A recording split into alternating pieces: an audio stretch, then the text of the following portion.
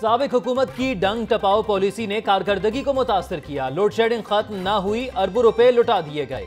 توانائی کے شعبے میں نو ارب روپے واجب الادا ہیں۔ سینئر صوبائی وزیر عبدالعلیم خان کا مختلف محکموں کے اجلاس سے خطاب۔ افسران کو سو روزہ پلان پر ٹھوس منصوبہ بندی کی ہدایت۔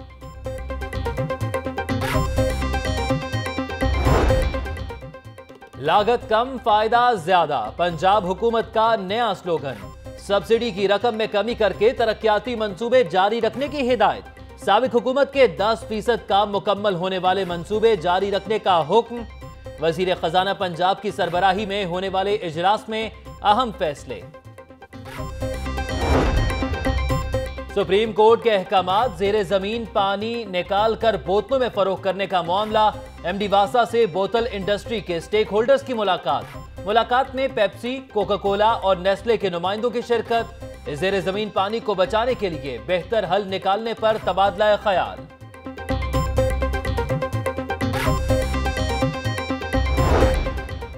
پرائمری اور میڈل کے امتحانات کی تیاری متاثر ہونے کا خدشہ۔ تین ماہ سے پنجاب ایگزامینیشن کمیشن کو باقاعدہ چیف ایگزیکٹو افسر نہ مل سکا۔ انتظامی امور ٹھپ۔ امتحان میں چوبیس لاکھ بچے شرکت کریں گے۔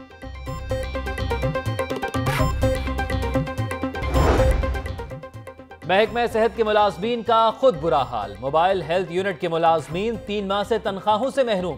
ملازمین کا چیف جسٹس اور پاکستان کو خط۔ تنخواہوں کی فراہمی کے لیے ہدایت کی اپیل۔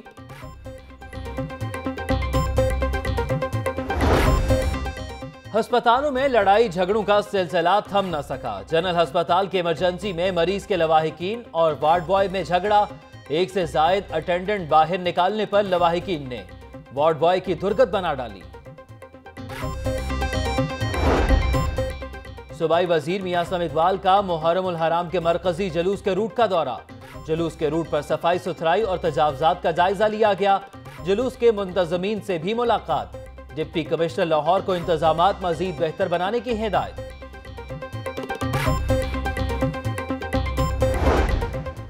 پنجاب پولیس میں بھی تبدیلی کی تیاریاں۔ پنجاب حکومت نے پنجاب پولیس ریفارمز کمیشن تشکیل دے دیا۔ سابق I G Khyber Pakhtunkhwa Nasir Khan Durrani commission کے سربراہ مقرر۔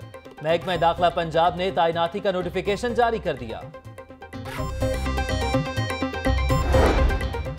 اسپیشل پروٹیکشن یونٹ کے لیے گاڑیاں بھی ہوں گی special D I G S P U نے اسی ڈبل کیبن گاڑیاں مانگ لی۔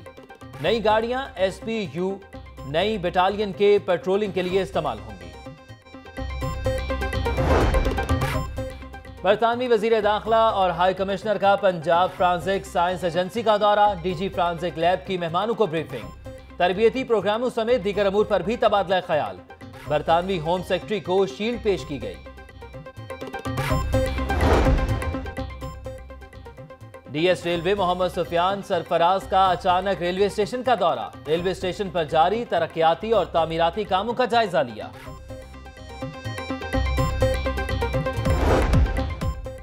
اور لاہور چیمبر آف کامرس کے الیکشن کی انتخابی مہم، سندر ٹریڈ اینڈ انڈسٹری ایسوسی ایشن کا پیاب فاؤنڈرز الائنس کی حمایت کا اعلان۔ صدر Lahore chamber of commerce Tahir Javed Malik کہتے ہیں پیاب فاؤنڈر الائنس ایک بار پھر کامیاب ہوگی۔